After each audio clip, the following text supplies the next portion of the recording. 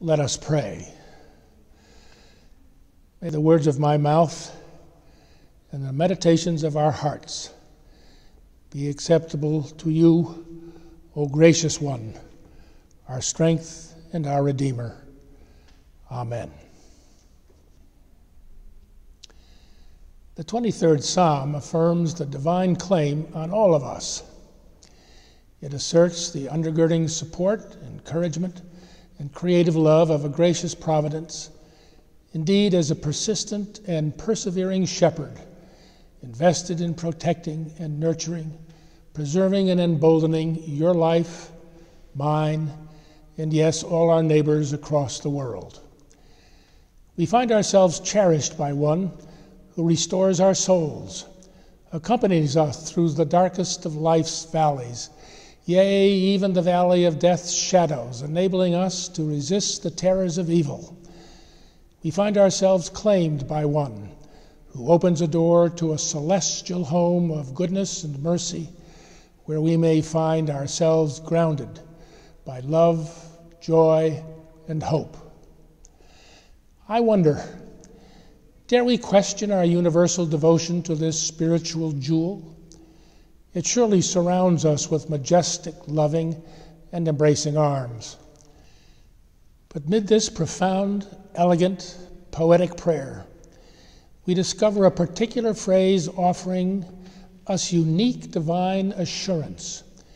You'll find it at verse 5. It reads like this You prepare a table before me in the presence of my enemies. You prepare a table before me in the presence of my enemies. How shall we read our psalmist here? Where does his promise lie? Well, he draws a picture of sustained courage in the face of fierce adversaries. He suggests a host inviting antagonists to dine. He demonstrates an initiative of reconciliation amid human confusion, malice, communal brokenness. What does such an occasion look like, this setting a table in the presence of adversaries? We witnessed in our own Christian story persons of stature risking their lives for God's sake in face of stiff resistance. Dare we cite our sovereign and Savior Jesus, who set God's table of grace and peace in face of religious and political powers intent to destroy him? Can we recognize Paul announcing a saving story to those who seek to crush him? In our own time, we witness Martin Luther King Jr. setting a table of peace and reconciliation designed to grapple with racism and white supremacy in the presence of political enemies, adversaries like Governor George Wallace of Alabama brazenly proclaiming segregation today, segregation tomorrow segregation forever. Through Dr. King, we behold a divine table set in the presence of implacable antagonists. Recently, we recognized the life of the Reverend C.T. Vivian, a close associate of Dr. King, an electric preacher, organizer, a dynamic trigger of racial justice in face of bitter resistance.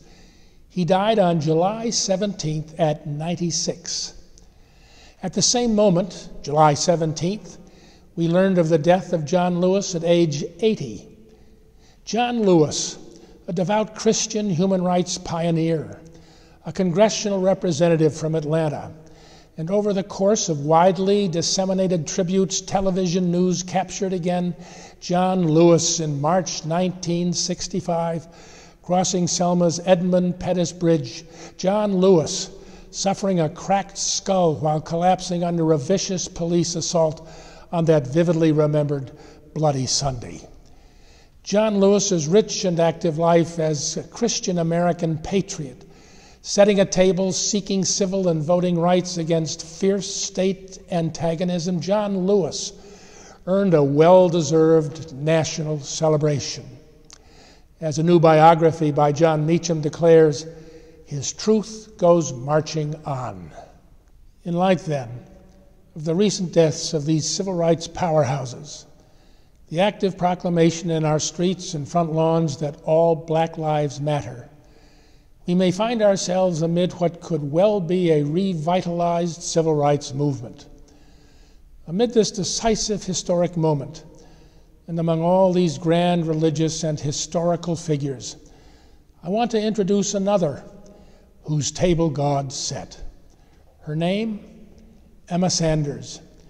She died not on July 17th, as did John Lewis and C.T. Vivian, but on June 24th at age 91. Emma Sanders, born in Claiborne County, Mississippi, the great granddaughter of a slave. She grew up in the west side of communities of Jackson. And as the Jackson Clarion Ledger tells her story, Emma early in life confessed Christ and joined the Mount Olive Baptist Church in Westside. She maintained her membership there until she moved downtown to Jackson and joined the Hyde Park Baptist Church and remained a member until her death. She loved Hyde Park, where she served as a deaconess and Sunday school teacher. She celebrated a proud moment when her son Jonathan became a pastor of Hyde Park. Emma Sanders graduated from Alcorn State College, the first black land grant college in the United States. She played basketball, ran track, received a business degree, and later graduated from Indiana University with a degree in education, the last class receiving lifetime teaching licenses. Emma Sanders taught school attended her five kids' athletic events, founded a business school, owned a restaurant and the Texaco station at Freedom Corners. But more. Her college age son, in the early 1960s, found himself engaged in desegregation activity. Emma and her husband, William, joined the effort too. Her grandson told the Times she didn't want her own children to become involved in something that she didn't have a very strong understanding of. The Reverend Edwin King, a white Methodist minister, a Boston University theological graduate, chaplain at Tougaloo College, a civil rights activist, himself jailed, beaten for persistent efforts to desegregate lunch counters and pursue voting rights, testified about Emma Sanders most black parents were telling their kids, You can't do this, it's too dangerous.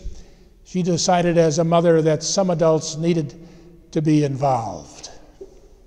Emma Sanders became not only an adult in the civil rights movement, she became, as one observer reflects, a force in the movement.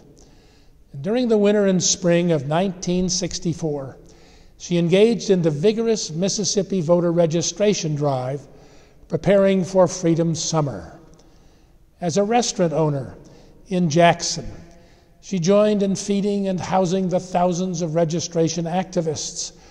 Activists, by the way, among whom I happened to serve on Freedom Day, January 22, 1964, in Hattiesburg, joining with John Lewis and Bob Moses, Fannie Lou Hamer, and Ella Baker on that splendid Freedom Day and at night sleeping on the basement floor of one of the invincible, monumental figures of that era, Victoria Gray. Some of you will remember that summer of 1964 when the Ku Klux Klan murdered James Chaney, Andrew Goodman, and Michael Schwerner, stuffed their tortured remains in an earth dam as payback for their voter registration pains in Meridian.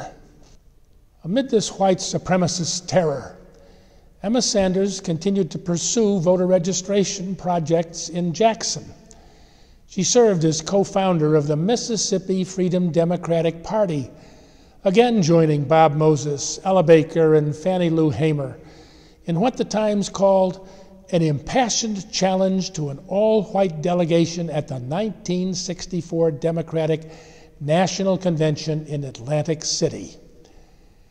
There we see the divine table set in face of angry white resistance. We catch a morsel of the crisis when a friend tells Emma Sanders, a white acquaintance observed that Atlantic City also housed the Miss America pageant. You'll never see it, she taunted. That convention echoes still in our sordid, racist soaked political history. Emma Sanders and her Freedom delegation suffered hostile, cruel rejection. Dr. King negotiated two black visitor seats. The white delegation vacated the convention. We recall a blistering, scorching encounter. We catch Fannie Lou Hamer lamenting, I'm sick and tired of being sick and tired. We hear Bob Moses, a founder of the party, insist that after Atlantic City, our struggle was not for civil rights, but for liberation. Emma Sanders joins an inevitable lawsuit, finally enabling ballots printed with black names altering radically the process of delegate selection to Democratic conventions and nationwide public elections. In 1966, Emma Sanders herself ran as an independent for Congress. She lost to a rigid segregationist incumbent, John Bell Williams, but affirmed, We ran strong, and that was a revelation. The year after, in 1967, we were able to elect blacks in local elections.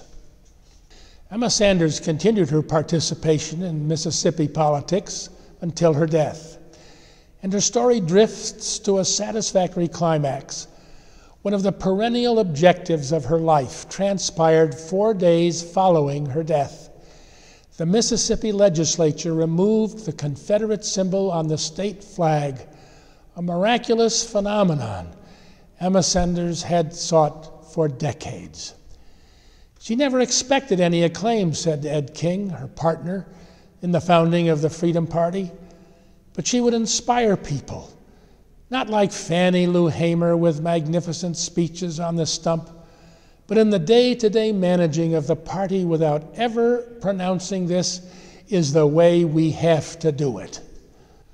Her son Everett remembered phoning his mother and father from school 60 years previously, informing Emma and William Sanders of his civil rights training.